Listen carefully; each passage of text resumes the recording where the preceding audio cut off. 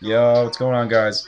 Weird Ribs here. Um, I'm gonna do a little review here on the uh, Juicy Vapor Blackberry new flavor I got here for uh, some e-liquid. Um, I got the 24 milligram. I got some tools with me. They, they wanted to be in the video. Um, Hey, hey, whoa, whoa, whoa, wait. you want to go out to Spencer's gift shop and you want to buy yourself a Tuggy. It's for your dick. That's all I gotta say. You can check it out. what's it? What's the slogan? Oh, it's uh the fuzzy sock that warms your cock. Yeah, I hit There the you go. floor. We lolled together. Him and I, right here. We lolled. All right, I you- mean, we raffled. Okay. So, Anyways, anyways, I got the reduced. Fuck it. I'll just show you guys. Reduced, reduced PG 24 milligram solution. Uh, Blackberry again from JuicyVapor.com. Uh, also got some new carts.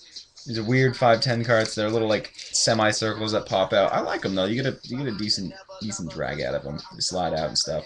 And then I got some uh, new atomizers. You probably won't be able to see them, but they stick out a lot farther. But I like them. They seem to be hit better.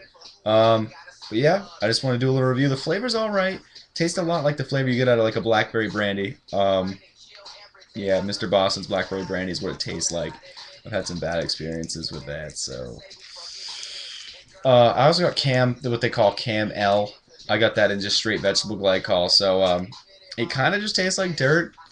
I'm not, yeah, you know, he he's he's tried it, he's tried it. They both, it, it just tastes like dirt. shit. It tastes like shit. So uh, I thought I'd do a little review here. I'll let you see. Hey, it produces good vapor. I thought I'd let you take a preview. This is no direct drip or anything. This is just out of my 510.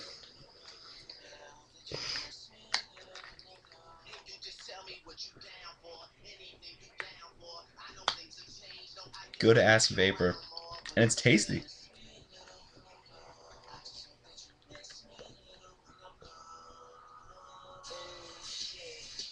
What do you got to say to that? Anybody else want Yeah, some? There yeah, you go. Yeah, you just pass it around. Oh, they had decent prices. Um, Juicy Vapor's got a really nice site. Uh, you can make your own flavors if you want. You can mix whatever. They've got hundreds and hundreds of flavors. It's kind of ridiculous. Um, but they got good atomizers. These kids are tards. Their atomizers are nice. I'm gonna break that off. Yep, breaking it. Ah! Do it! I'm gonna break it. Do it! Okay, give me that. Okay, give me that. Uh, so yeah, I'd recommend hitting that site up. They make it the day I ordered it 13th.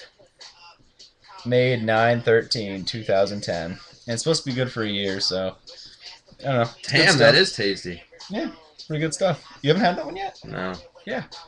I mixed it with a little bit of apple earlier. It was pretty fucking mind blowing. So Really? Yeah, it's pretty good. I'll try that later.